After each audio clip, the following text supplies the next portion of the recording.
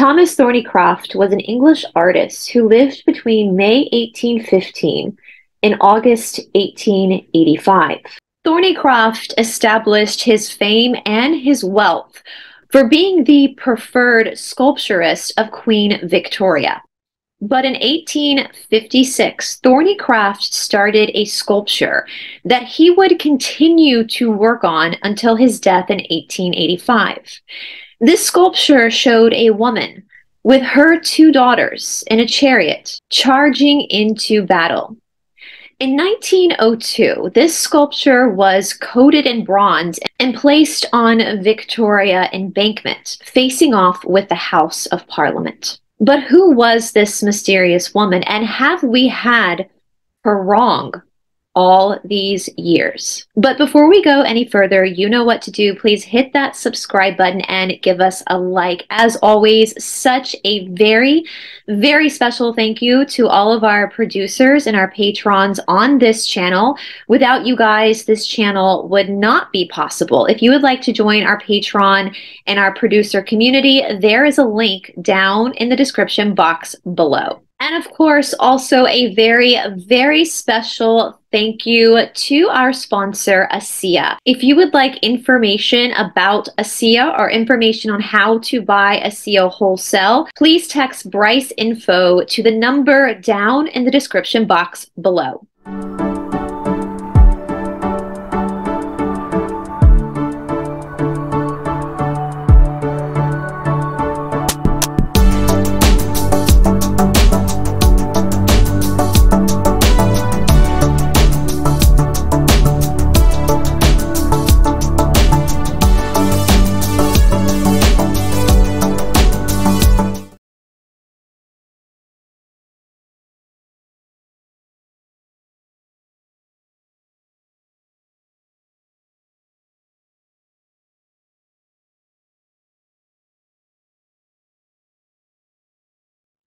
Welcome to Esoteric Atlanta. My name is Bryce, and today we're going to be talking about Queen Boudica. Was she truly just an historic figure, or is she a forgotten ascended master?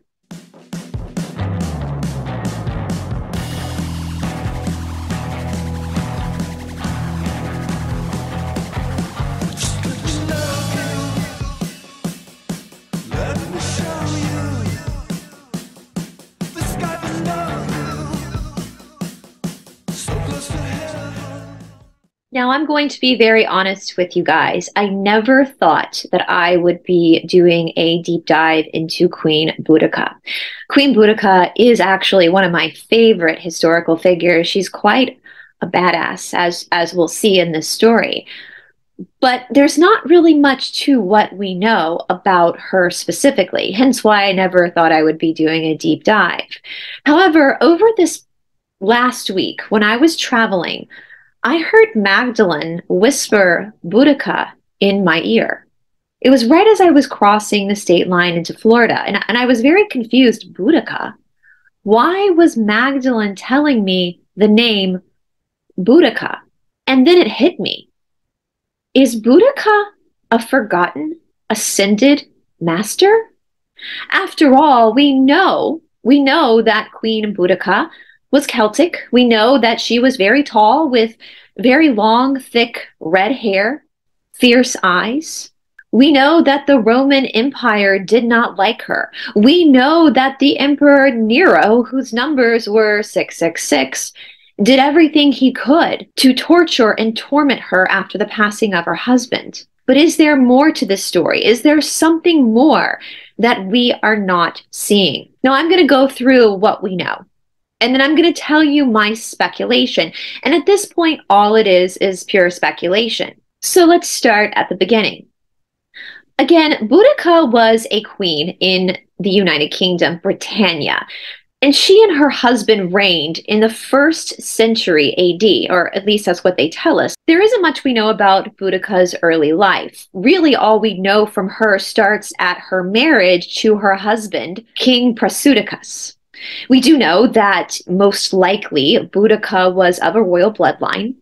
We also know that Boudica herself was considered to be a high priestess. We also know that even though Boudica was the queen of the Iceni people, she herself was a very humble queen and would often be seen working in the fields with the common folk. We know that Boudica was considered to be very intelligent and also practiced medicine. And by practicing medicine, I mean she practiced real medicine. She worked with herbs. She helped her community heal themselves with plant medicine, the type of medicine that many women in centuries to come would be accused of witchcraft for practicing. Boudica and her husband, King Prasutagus, had two daughters. Now, we don't know the names of these daughters, and it's very um, foggy and murky as to what actually happened, what became of these two daughters, which which we'll get to at the end of this story. Now again, as I said, this couple ruled the Iceni people during the 1st century AD.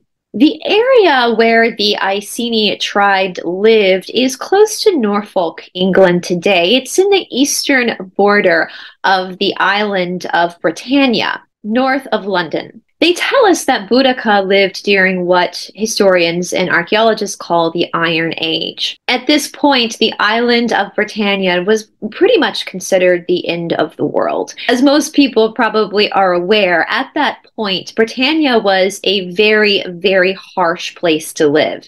Very cold, very rainy, the beaches of the UK are not like the beaches here in the United States or in the islands. It's rough water, it's rough winds. I lived in England in the early part of the 2000s, and even in modern times, as a girl from Georgia, it was really rough for me because the weather was so different and the elements were so much harsher than they are down here in the sun belt of the United States. Well, because of this, the people of Britannia, all these different tribes, really didn't encounter a lot of outside influence. Now, they were Celtic people and they practiced Druid faiths. And if you've been on this channel for a while, you know that Magdalene herself, even though she was Egyptian, was considered to be of Celtic origins. And if you've been on this channel again for a while, you know we talk a lot about the Cassiopaeans. And the Cassiopaeans have said many times that there is a portal in Kiev in the Ukraine. And many, many years ago, a planet called Kinteka, not Kentucky, not saying Kentucky, I'm saying Kinteka, which was a planet system, was overtaken by the service to self, the negative beings, just kind of like what we're going through here on planet Earth. Well, the planet Kinteka was mostly made of polarized positive humanoid beings. And once that planet was destroyed, these negative fourth density negative beings took all the inhabitants of Kinteka and brought them to planet Earth through the portal of Kiev. And as the Cassiopaeans have said, these would be our Celtic people, our Druids, the Kentuckians. The Kentuckians also resembled Pleiadians and Lyrans. They had the reddish blonde hair, blue or green eyes. Now, granite, blonde hair and red hair pretty much run in the same family, as do blue and green eyes. I know that two blue eyed parents cannot have a brown eyed child, but two blue eyed parents absolutely can have a green eyed child because it's in the same family. These are cultures that we see like river dance and this Celtic culture spread from Kiev, where they were dropped off, all throughout the continental European continent up into the United Kingdom.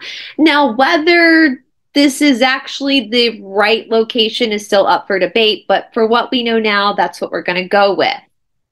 And so, in saying that, even though the people of Britannia were Celtic in heritage or Kentuckian in heritage, they would still communicate a lot with their Celtic and Druid brothers and sisters down in Gaul or France, which I find super, super fascinating because if you're a history buff like me, you know that the English people and the French people have never gotten along. They've always fought. And, and, and this really, we really see this in 1066, or so they say, 1066, when William of Orange conquers the United Kingdom, creating the royal family that we see today that's not actually British. In fact, from what I understand, people who are genetically British have more um, brown eyes, brown hair. The blue eyed, blonde haired British people are carrying Celtic culture that again is coming from the lineage of the Kentuckian star constellation. In fact, I'll tell you guys a little funny story about the harshness of this area. As you know, I'm a huge reality TV fan. That's how I relax as I watch. That's my junk food is watching reality TV. And the Real Housewives of New Jersey were heading to Ireland for a cast trip. And one of the characters was packing a bunch of bathing suits and her husband walks in. He's like, "What are you doing? Why are you packing these bathing suits?" And she was like, Well, Ireland's an island. And he was like, Oh, honey, it's not that kind of island.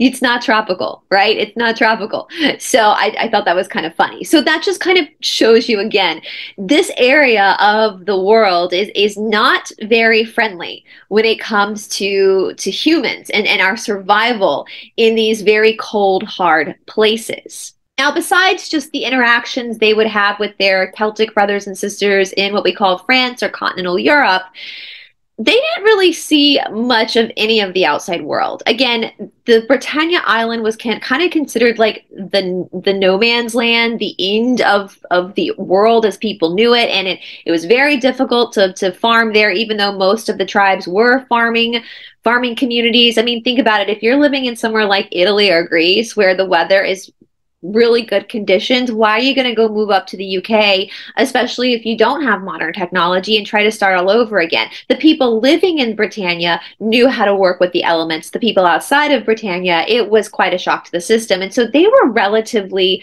kind of left alone. You know, sometimes these tribes would war within themselves. We, we see with the tribes of Britannia, there's a, there's a lot of similarities from what we see with the tribes of America, where Britannia itself, the island, island was not one nation. In, in fact, all the tribes themselves were considered to be different nations. And sometimes they got along and they traded with each others, and sometimes they had little scuffles. Same thing over here in the United States. So at the time of the Roman invasion, Britannia was not one joined force nation. Again, multiple nations, multiple tribes living scattered all over this island. In 55 BC, Julius Caesar decided that he was going to start to expand the Roman Empire into this area that was kind of considered a no man's land. From the get go, there was resistance to the Roman Empire. And once more, we saw a huge influx of Celtic people from continental Europe coming into Britannia to help them fight off the Roman Empire. Now, the Romans created the word called barbarians. Anybody that lived outside of the boundaries of the Roman Empire was considered to be a barbarian. This we see is the start of propaganda.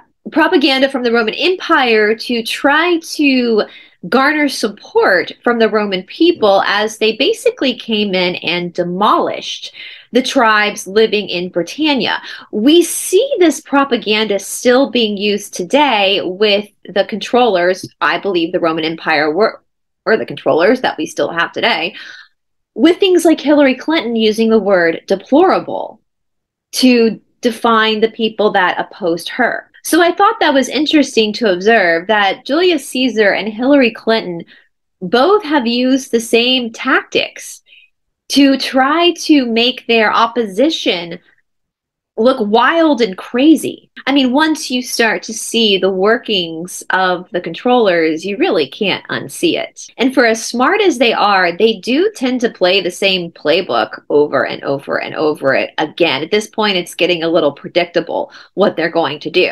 Now, the Roman Empire by this time was definitely a military machine. I mean, there's no other way they would have conquered all these lands if it weren't for being a military machine.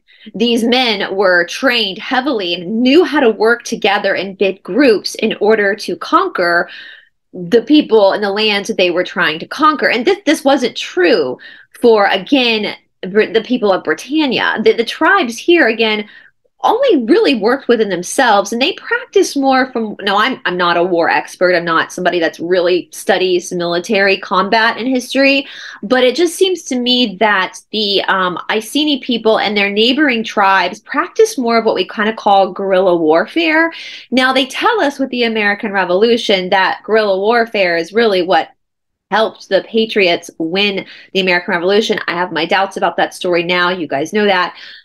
But this is kind of what these tribes were doing.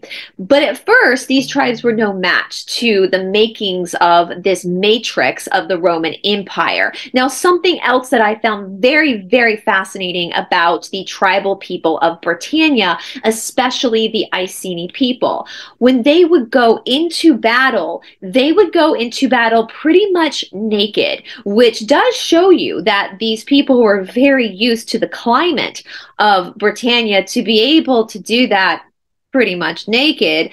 Um, and they would do this so that they would, or at least historians tell us and archaeologists tell us that, that they believe that they would do this because it allowed them easier access to their weapons. They have found some remains where some of the warriors of Britannia would wear some sort of a vest to try to protect them from spears and swords and stuff, but most of the people that fought would go in with very little clothing on. And on top of that, y'all, this like really blew my mind. And 10 years ago, I don't know if I would have noticed this like I noticed this now. The people of Britannia, especially, especially the Iceni people, would paint their body in a blue color that came from blue woad. Now, blue woad is a, a plant. It comes from a plant that's indigenous to Europe. It's it's indigo and blue woad are like the two plants, from what I understand, when textiles that actually already have a produced color versus the other colors that have to kind of be produced through the mixing of other colors, if that makes sense. But they would they would paint themselves in this blue woad to go into battle.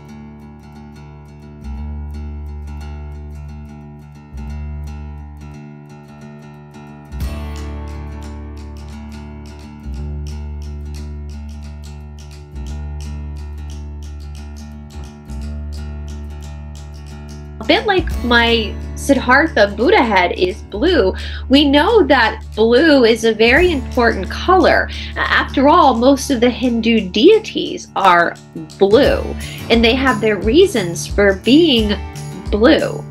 We know that in Egyptian hieroglyphics, there were blue people. And that is so fucking fascinating because if we think about warfare today and we think, oh, we try to camouflage, or if you're going hunting, which I, I don't really support hunting, but you're going to camouflage yourself so that the enemy or your prey can't see you. Well, blue's going to stand out. It's kind of like the redcoats, the British redcoats in the American Revolution. They could see them coming a mile away because they had freaking redcoats on, right? But this blue, they believed that this blue woad, this color, would give them magical powers.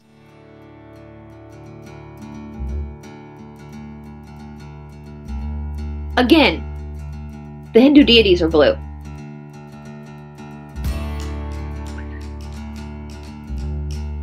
Now, they'll tell you today, historians will tell you today, that they kind of ran around like wild banshees in battle and they were drinking a lot before they went into battle in order to give them some sort of like liquid courage. And no, they didn't I don't think they called it liquid courage back then. That's a modern word. But they would they would kind of get get grow some balls, right, from from the alcohol to be able to go into these battles. Now, this is interesting to me because we know that especially with like the Russian culture, that there's a lot of vodka drinking because alcohol does warm up the body. So there could have been an element of that. There could have been an element where they were trying to warm themselves up to go out naked with blue paint on their bodies in order to battle. But I'm kind of suspicious that this wasn't actually alcohol because if we're talking about the blue woad having magical powers, and if we're talking about a lot of the priests, or a lot, of, excuse me, a lot of the kings and queens being priests and priestesses, which we know Magdalene and Yasha were that as well, maybe this was some sort of a peyote or like an ayahuasca that they would also take in in order to activate some powers that they knew they had that we've forgotten we have. I don't know. I hope you guys are following along with what I'm kind of getting at here. I just, it's just interesting. And again, this is all just speculation and we won't know until we fully know, but I thought I would bring it up. We also see the Iceni people with these crazy designs all over their bodies. And I don't mean crazy in a bad way, they're actually quite beautiful. And we know that people who, or at least we've been told, through divination that people who have like crazy like like my boyfriend for example is covered in tattoos. He has a full sleeve on one arm. He's got a half sleeve on the other arm. One of his legs is fully tattooed. He's had them for years. He's just like addicted to getting tattoos. And the people like that they say that in other galactic constellations that many humanoid beings have their light language encoded on their body. And so people who crave tattoos, possibly, it could be that they're missing having that light language. And so that's what they're trying to put on their body. I think that's what my boyfriend, I, I really do believe that about him because he's very, very galactic in his mind. He's very much about extraterrestrial life and fascinated by it. So I do think that's why he that made sense that resonated when i learned that because like oh that that makes sense. They're looking for their old light language. And so when we look at the battles of these britannia tribes with their their blue paint and their intricate designs even for women too all over their bodies i want to speculate that there's something more here. And this propaganda of calling them barbarians and like outcasts of society who needed to be civilized by the Roman Empire. I think this was a, a, big smear campaign so that people of the Roman Empire would stop remembering the fact that we are galactic beings. Does that make sense? Am I making it makes sense in my head? Does that make sense in your head?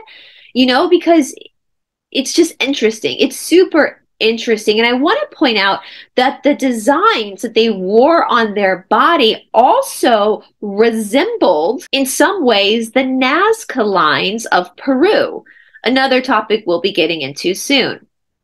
So, how is it that they were able to put these intricate designs on their bodies that match from other cultures across the world? Y'all, this is galactic. And that's what they don't want us to know. Just like Hillary Clinton didn't want people to know that the people opposing her knew a little something that they didn't know, hence why she called us deplorables. See how this works? So from 55 BC all the way to 49 AD, the Roman Empire was coming in, pounding, pounding, pounding, taking Britannia from the tribal people it took 104 years. So even though these were barbarians who weren't trained in proper military technique according to the Roman Empire, they obviously put up a huge fight for many generations since it took 104 years to finally gain control of a large part of the island of Great Britain. And this was under the Roman Emperor Claudius. Now, I want to take a moment to step back a little bit. We have, as I've talked about, the Britannia tribal people, and then over here we have the Roman Empire that's coming in and invading Britannia. We know what the history books tell us. This is what I've been kind of quoting from is the history books, what we've learned. They're Roman Empire, blah, blah, blah. But you guys know that I don't actually believe the Roman Empire existed. I know that might sound crazy if you're new to this channel and you're welcome to think that sounds crazy. But let me tell you guys, I'm a huge history lover, history all throughout school. I never had to study for a history test because I always just remembered it because I found it so fucking fascinating. This is why I love reality TV today. History is juicy, it's juicy and it's gossipy and it's really fascinating. And so I would always remember history. And so I always aced my test and I never studied and I still retain that information because I find it so freaking fascinating. So for me to sit here right now and tell you guys that I don't think the Roman Empire actually exists is really big because for most of my life, I was fascinated by the Roman Empire. I think the Roman Empire is code code for the controllers. All of the architect we see from the Romans, I personally believed is Tartarian architecture. But the Tartarian stuff, definitely a subject for another day. But let's look at these Roman emperors that are existing right now again, I don't actually know. In my own mind, I don't actually know when Boudica lived. 10 years ago, I would have told you, yeah, she lived in the first century AD as what we've been told by our matrix system in our education. So I don't know where to place this scuffle. I don't know if this scuffle actually happened during um, the fall of Atlantis or if this scuffle with Boudica actually happened right before the mud floods, which makes it very close to where we're living today, which I'll tell you why I'm questioning that towards the end of this episode. Because many people will probably say, oh, well, she probably lived at the fall of Atlantis. Like, this is the tribulation. All we know, though, is that whether it was the fall of Atlantis or the fall of Tartaria, the bad guys took control. Basically, they won. So it was either the fall of Atlantis or the fall of Tartaria, right? But let's look at who these bad guys were, who these Roman emperors were. And I have gone back and forth of whether I want to deep dive into these people more because holy shit, the scandal and the depravity of these people is just unbelievable. We also know, starting with Julius Caesar in 55 BC, there's a lot of intermixing with Cleopatra. And in fact, I will put all of my Cleopatra and Egyptian videos about that down in the description box below so you can kind of see how these Egyptian cultures intertwine with this these Romans, right? Well, let's just go down the list for a minute so we can really see how fucking evil these people were. So first we got Julius Caesar. Then after Julius Caesar, we have Caesar Augustus. Now Caesar Augustus was the grandnephew and adopted son of Julius Caesar. Caesar Augustus allegedly died of natural causes at the age of 75. From him, we have Tiberius. Tiberius was the stepson and former son in law of Augustus, and he died at the age of 77. Now, it is speculated that he was murdered by Caligula. Now, Caligula and Nero are the two, like, whoa, like these guys are like I mean, there's not a whole lot I can say, but these guys make Hillary Clinton look like a fucking saint. So Caligula was the grand nephew and great grandson of Augustus. Now, Caligula was known again to be pure evil. He was extremely cruel. He was into sadism and had many sexual perversions. And he was, by the Roman Empire, considered to be a tyrant. In fact, he was so evil that he was assassinated by the senators of Rome at the age of 28. After Caligula was assassinated by the senators, Claudius became the emperor of Rome. And this is the emperor, Emperor Claudius, who sealed the deal on Britannia, who ended the 104 year conquer of this island. Now, Claudius was Caligula's uncle and the grandnephew of Augustus. So this is one big messed up family line. Now, Claudius, after he had conquered Great Britain, he too was murdered by his wife through poisoning. His wife murdered him so her son Nero could take control of the empire. And this handoff between Claudius and Nero is the time period of Boudica's rebellion against the Roman emperors. Now, again, Nero, he's the 666. Um, many, many people believe Nero was actually the Antichrist spoken about in the Bible that rose up during the apocalypse, which would have been the fall of Atlantis. So that is where I'm kind of hinging on this happening at the fall of Atlantis during the tribulation before the 1,000 years of peace, which was Tartaria. There is one other possible evidence that makes me think we got to shift it a little bit closer to where we live now. But again, we'll get to that at the end of this this deep dive. Um, but that's that. I mean, Nero was six six six. So this is all happening. This crazy Roman Empire with their fucked up family, their cabal family, who are doing all sorts of debauchery. They're coming in and taking over Britannia. Now, we know that the controllers like to work very methodically and very slowly. So, as they started to take over Britannia, they started more smear campaigns. They started saying that the Druids were practicing things like human sacrifice and cannibalism, but that's not true, you guys.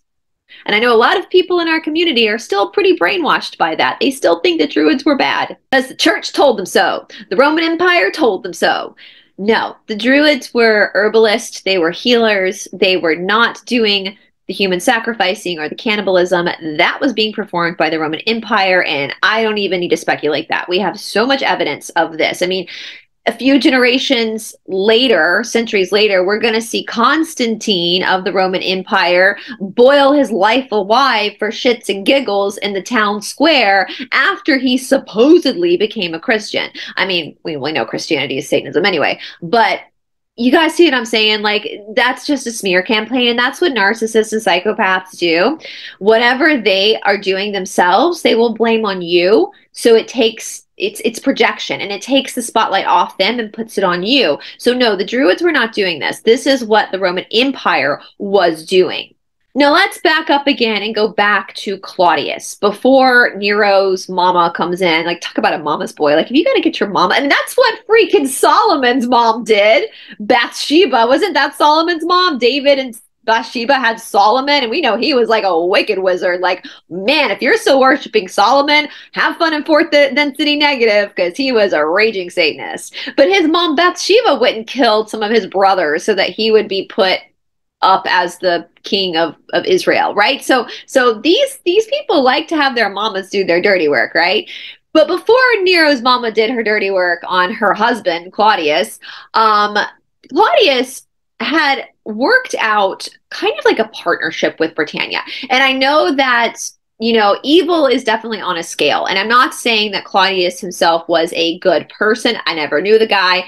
But out of all of the, the emperor, emperors of Rome, or Rome, the controllers, coming in, he seems to be the one that was kind of the most fair.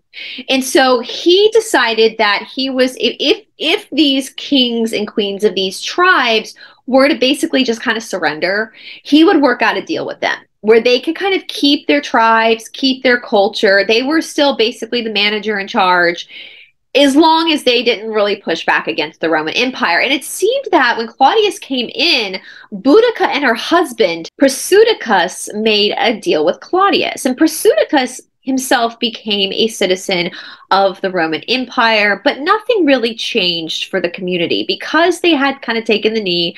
They kind of left them to do their own thing, right? And they would send money to them and help them out financially, kind of like the way we do it now with our matrix system where you know we're born we have these birth certificates and we kind of become property of the country. That kind of is what Prasutagus and Boudica kind of got themselves into. It very much mimics what happens with our birth certificates today in my opinion from my research. So not only were they now citizens of Rome they were considered a friend of Rome and they were considered a client kingdom. Once again, sounds very much like the franchises of our countries.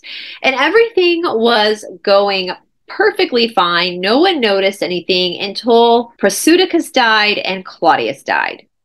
Once Prasutagus died and once Claudius died, Nero was in charge. Now, in the Druid culture, as we see from Magdalene herself and Yeshua, women were considered to be leaders. They could very much rule a kingdom. And Boudica was not just the queen by marriage, she was also royal blood too. And so the way it worked with his death, in his will, Prasutagus left the Iceni tribe to, after Boudica's passing, it would go to their two daughters, who we don't have names for, we don't know their names, and the Roman Empire. So they would be joint kind of managers of this area. And so Prasutagus passes away, and life kind of goes on as the Iceni people normally would have it go on when their ruler would die. Boudica took over to help her daughters manage this transition where her daughters would now be, when they came of age, would be in control. Well, Nero was not going to have that because in the Roman Empire, women were not considered to be anything, right? Maybe that's why Claudius's wife killed him. I don't know. So we're seeing with the Roman Empire, the controllers, this destruction of the divine feminine, hence why the controllers made Magdalene a prostitute, right? When she was actually the Christ, right? So we're seeing this where Nero not only is a raging psychopath who is a lot like Caligula and his debauchery and Satanism, but he's like, oh, hell no this woman is not going to be partnered with me. And so he sends his generals in to basically like rape and steal and take everything from all these tribes, not just the Iceni, but all these other tribes of Britannia. So basically, the contract that Boudica's husband had with the Roman, Roman Empire was basically ripped up by Nero was just null and voided. In fact, Nero's plan was basically to commit genocide against the Celtic tribes. He didn't want any more Celts left on this earth, any more Kentuckians left on this earth. Now they didn't have a word for extermination or genocide back then, but that that's what he was doing. You know, we know that the word we we are we we assume the word the bad word fuck comes from fornication under consent of the king, and that was allegedly done by the English monarch to the Scottish women to breed out Scottish blood. Well, the same thing was kind of happening here with Nero. He was sending his tribes in, or his men, his military men into these tribes to rape the women, impregnate the women with Roman children so that that they would basically eventually wipe out the Celtic heritage. And they would murder the men or take the men, especially the leaders of the tribes, into slavery, into the Roman Empire. And what happened next to Boudica is a trauma that I don't think any of us would survive. Boudica was collected one day with her daughters and taken to the city center, the tribal town center she was tied up to a pole and she was flogged.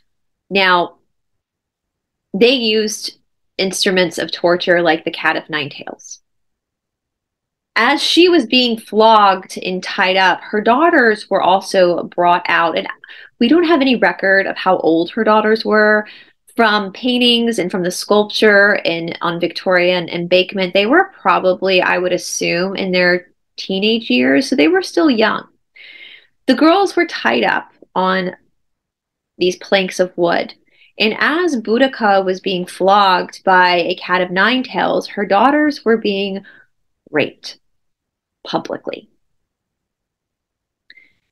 So Boudica had to watch her children be tortured while she herself was being tortured. And the cat of nine tails, it from my research was one of the torture devices that brought you the closest death because it would rip your flesh off of your back or wherever you were being whipped to the point where the victim, the person who has just been whipped, basically their back is just bone with flesh hanging off.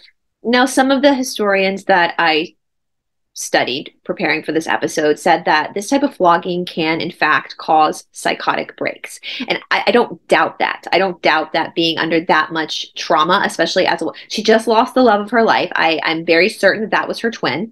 Um, they had a very great marriage. So he's dead. She's got these two daughters. Her people, who she feels responsible for, are being completely abused by this Roman Empire. Um, and from the records, we know Boudica really cared about her people. She was a high priestess herself. And now she's being not only humiliated, but she's being tortured to death. And she's having to watch her children go through this too. So I don't doubt that there was not some sort of a psychotic break, but I don't, I, I think that's, I think by just saying that's what happened to her is, is, is again, propaganda. Because what happened to her was horrible and she fought back. She was pushed to the edge where she said, You're not going to do this anymore. And so Boudica in 60 AD, right after this happened, she got tribal people, not just from the Iceni people, not just her people, but neighboring tribal people. She got them to get together to get rid of the Roman Empire once and for all from their island. Now, at this point, because so much time had passed, the whole landscape of Britannia had changed, according to the archaeologists and historians. Before the Roman Empire came into Britannia, we were talking about a lot of agriculture, a lot of hut life where they built built these specific huts. It was very private, it was very small. Once the Roman Empire came in though, they had better roads. They had an actual sewage system. They had bathhouses. There was more trading, more merchants everywhere, which we're going to get into when we get into the city of London or the, the city we call London today. So the the um geography of this land had drastically changed. Now again, that's what the history books tell us. I personally, once again, believe the Roman leftovers are Tartarian. So I don't really know how that fits into all this, but I'm just sharing with you guys what my research has shown. So the Roman governor at this time was a man named Paulinus, and Paulinus was really known to be very, very good at military. Um, they're just people. I mean, even in today's world, we have people who are just really good at strategizing in in a military industrial complex so that that he was good at this and he had gotten or at least he thought that he had gotten the people of Britannia to really calm down you know, it's been again, it's been a hundred years, so they're kind of getting used to the Roman luxuries of sewage systems and bathhouses and merchants. Life is changing for them. A lot of children, young adults, even Boudica, were born into a time where this change was happening, and so and so he felt like he was good to kind of leave this area for a while, and he headed over to Western Britannia to a place now we call Wales, right, the Welsh area, to again start to conquer more land for the Roman Empire. Now, this guy was also, from what I read, sacrificing people along the way to the gods of the Roman Empire, which we know what that is. It's Lucifer doing the same thing that that the, they're still doing today on those islands. And so he would impale them. He would do all these things. So he was brutal.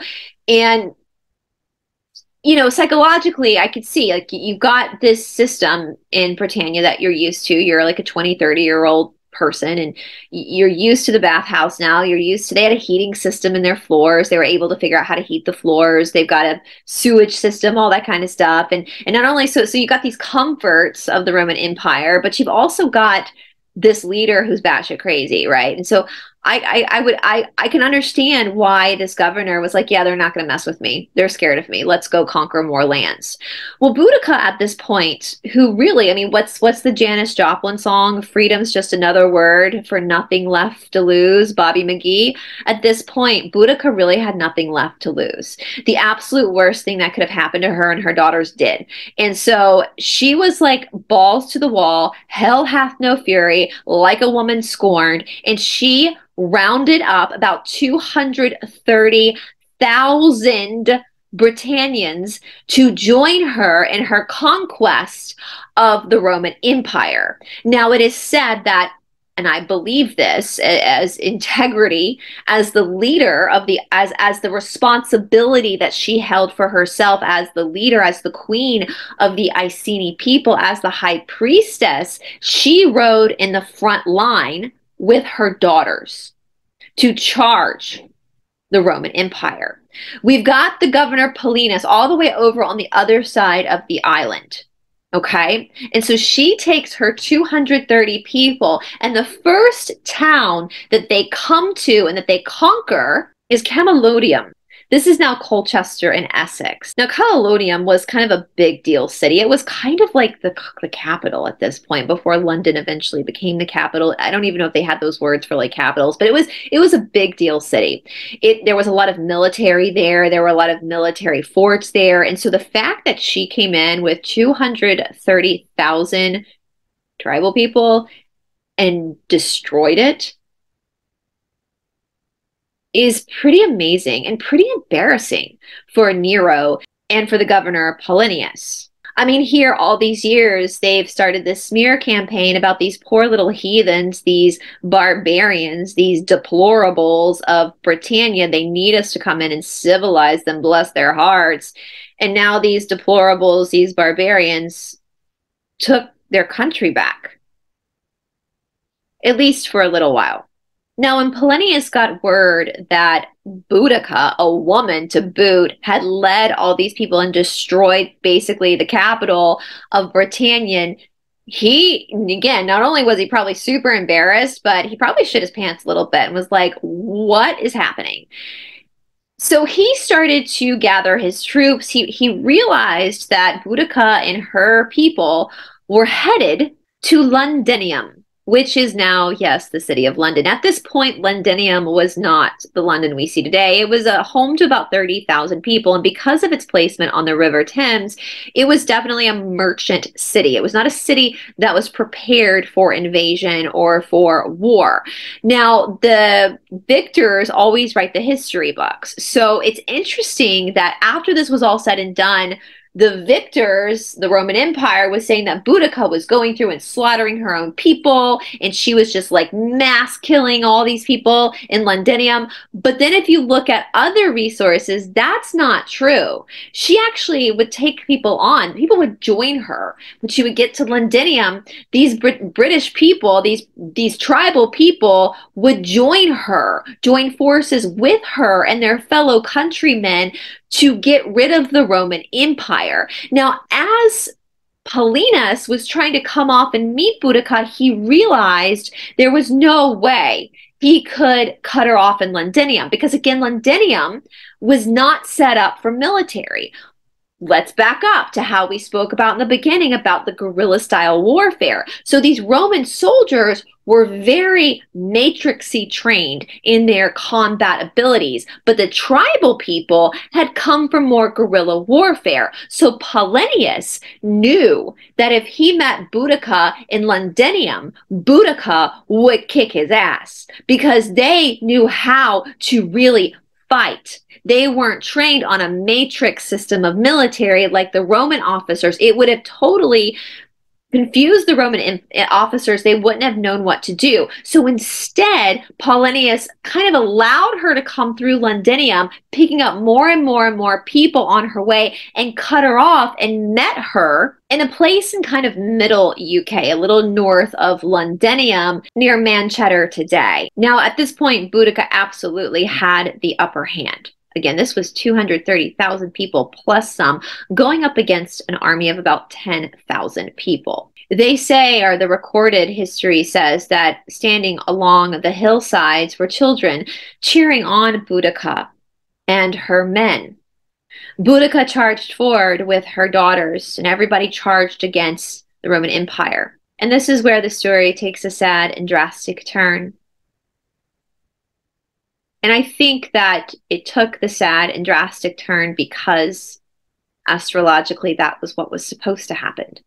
Whether this happened at the fall of Atlantis during the tribulation before the thousand years of peace, or whether this happened at the fall of Tartaria before the mud floods, before Gog and Magog, it was time for the bad guys to kind of show their stuff in this polarized planet. Because in that field, the Roman Empire, the Roman soldiers knew what to do. The tribal people of Britannia just charged. The Romans were methodical, though. They knew how to come around and how to take them out. In that battle alone, 80,000 Britannians were killed to only 400 Roman soldiers. The remaining Britannias that were fighting were sold into slavery. Some were later executed. Boudica herself, so they say, committed suicide on the field by drinking some poison. And I actually don't blame her because her alternative of being captured by, by Paulinus, she had already been almost flogged to death by these people for nothing, for seriously just being like the queen she didn't do anything against them. It was just who she was. So the fact that she had done something against them meant that her life, she was going to be tortured to death anyway, or sold into brutal slavery. And so she took her own life. I'm assuming her daughters took their lives as well. I don't know. There's not a lot of sources that say what happened to her daughters. Now, they say that Boudica is buried underneath King's Cross, which I find very fascinating. We don't know for sure. This is just speculation. But there was an attack on King's Cross. I actually love King's Cross. It's one of my favorite areas of the UK. Last time I was in the UK, I was there um, a few years ago for a yoga thing, and it, I stayed there at the King's Cross. It's very magical. And just like I believe Magdalene is buried in Ottawa, I think that these bodies of these ascended masters get placed specifically in certain areas in order to harness their magic. That's just my opinion, my speculation. But I think she was, I, I think there's a reason why King's Cross was built on top of her burial, if that is true. Now, for many years, as they say, for many years, the story of Boudica was forgotten about. Her story didn't apparently reemerge until some records were found during the Tudor dynasty. And then she kind of faded away again and came back with vengeance in the Victoria age. Now, you guys do know I am a, des- a descendant of Queen Victoria. I want to really reiterate that being born of a bloodline doesn't make you bad. Okay, if you think being born of a bloodline makes you bad, then you're a bigot. That's no different than saying because of someone's race, they're inherently bad.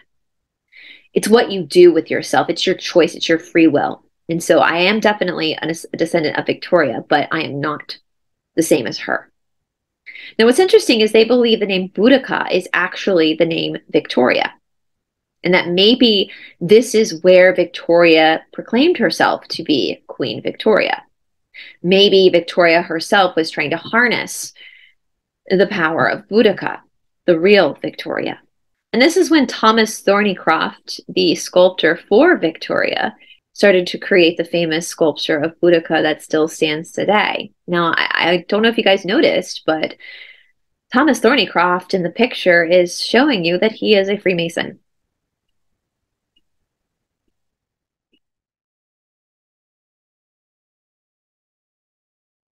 And I don't have all the answers. Again, this is why it's a deep dive. This is why we're discussing it.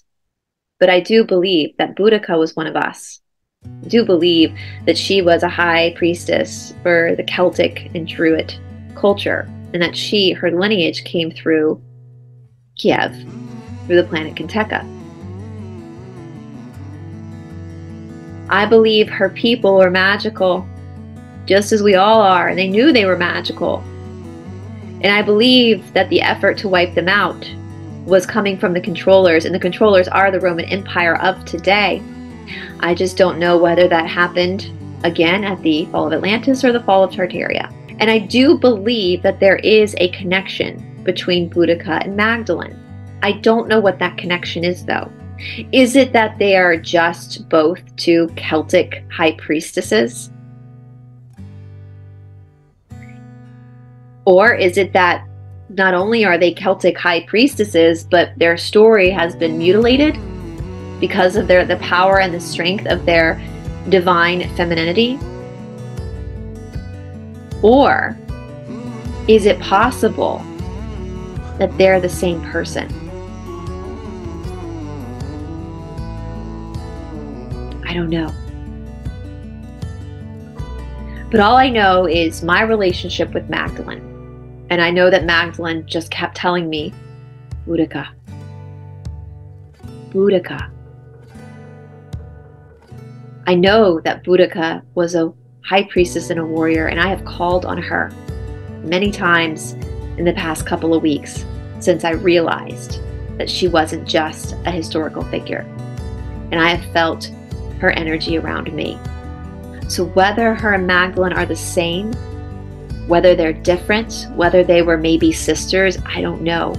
But there's a connection there, an important connection. And I personally believe that Boudica is an ascended master, just like Magdalene, just like Kuan Yin, just like Isis, just like Hathor.